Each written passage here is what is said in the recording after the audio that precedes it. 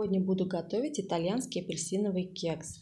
Для рецепта нам понадобится 2 апельсина. Мы будем и цедру использовать, и сок. 250 грамм муки, 250 грамм сахара, 120 миллилитров подсолнечного масла, 80 грамм крахмала, 4 яйца обязательно комнатной температуры и пакетик разрыхлителя для сладкой выпечки. Муку, картофельный крахмал и разрыхлитель для сладкой выпечки нужно обязательно просеять. По рецепту нам нужны два апельсина. Сначала я сниму с них цедру специальной теркой. И только после этого буду выдавливать сок. Цедру с апельсинов сняла. Вот они такие остались теперь. И вот цедра готовая. Подготовила апельсины, разрезала их наполовину. И с помощью такой простой соковыжималки ручной буду выжимать весь сок. Все-таки красные апельсины я заменила на оранжевые, чтобы выпечка была красивого оранжевого цвета. Все продукты подготовила, теперь можно начинать процесс взбивания. Яйца должны быть обязательно комнатной температуры. Добавляем сахар, щепотку соли и начну взбивать до того момента, пока не образуется пышная масса, которая слегка должна побелеть.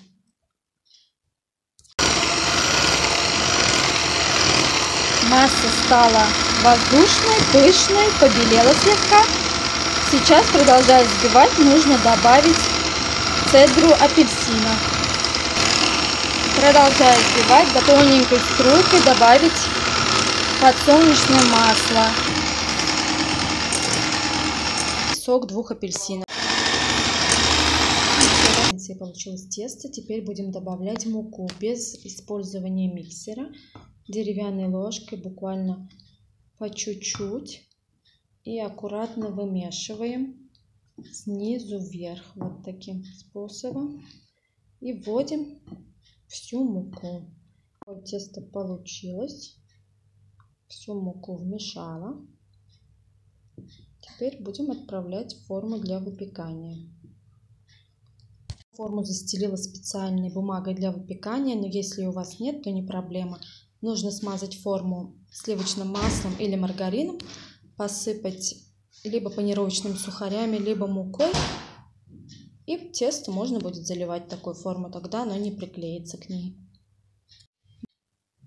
Отправляю в разогретую до 180 градусов духовку на первые 10 минут. Потом температуру до 170-175 градусов убавлю и оставлю остальные 20-25 минут выпекаться. В общей сложности кекс будет выпекаться 35 минут. Но следите каждый за своей духовкой. Знаем, что они разные бывают, и время может быть выпекания тоже разное. И проверяем, как обычно, деревянной шпажкой. Если она сухая, значит кекс готов.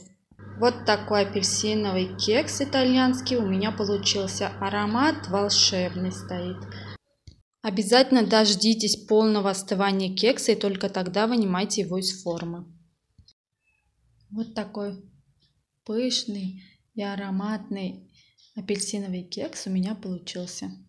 Такой воздушный, в меру влажный, не сухой ароматный кекс. Вот такой красивый апельсиновый кекс. Приятного чаепития!